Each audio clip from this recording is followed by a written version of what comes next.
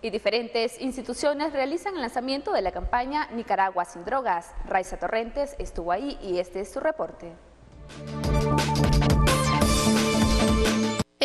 Ministerio de Gobernación, coordinados con el Ministerio de Salud, Ministerio de Educación y la Policía Nacional, lanzaron oficialmente la campaña Nicaragua Libre de Droga, jornada que conlleva a unir esfuerzo para el enfrentamiento sin tregua contra el narcotráfico. Esta campaña tiene planificada más de 15.000 actividades a realizarse durante cinco meses. Estamos iniciando una jornada que lleva o conlleva eh, desarrollar esfuerzos que aseguren la prevención eh, en el tema del consumo de drogas. Este esfuerzo o este plan de acción que va a durar cinco meses, va desde mayo hasta septiembre. El plan conlleva un conjunto de acciones, conlleva aproximadamente 15.386 actividades, entre las que se destacan marchas en los departamentos, ferias departamentales, asambleas estudiantiles, caminatas educativas, eh, atenciones ambulatorias a jóvenes que son adictos.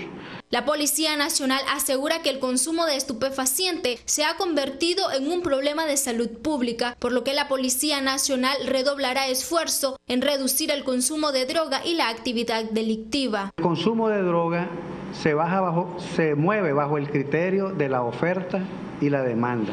¿Qué significa esto? Que si no hay consumidores, no existe demanda y por lo tanto se muere la oferta. Entonces nosotros lo llevamos como objetivo reducir el consumo de drogas. Eso nos va a llevar también a reducir la actividad delictiva, principalmente aquellos delitos que atentan contra la vida, como es el robo con fuerza, el robo con intimidación, el homicidio, las lesiones graves.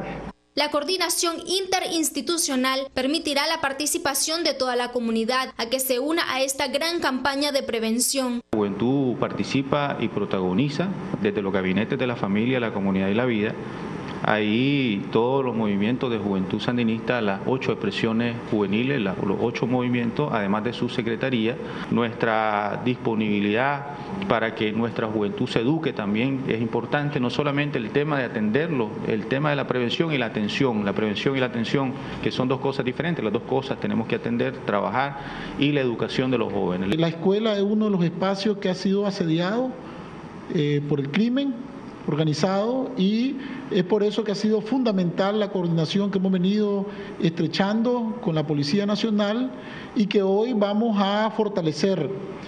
Eh, desde el lanzamiento de este programa Nicaragua Libre de Droga, nos vamos a articular, vamos a sumar todos los esfuerzos es importante mencionar que los gabinetes de la familia Salud y Vida jugarán un papel preponderante en esta campaña, ya que desde los barrios y las comunidades es donde se debe comenzar la prevención. Raiza Torrentes, Noticiero 6.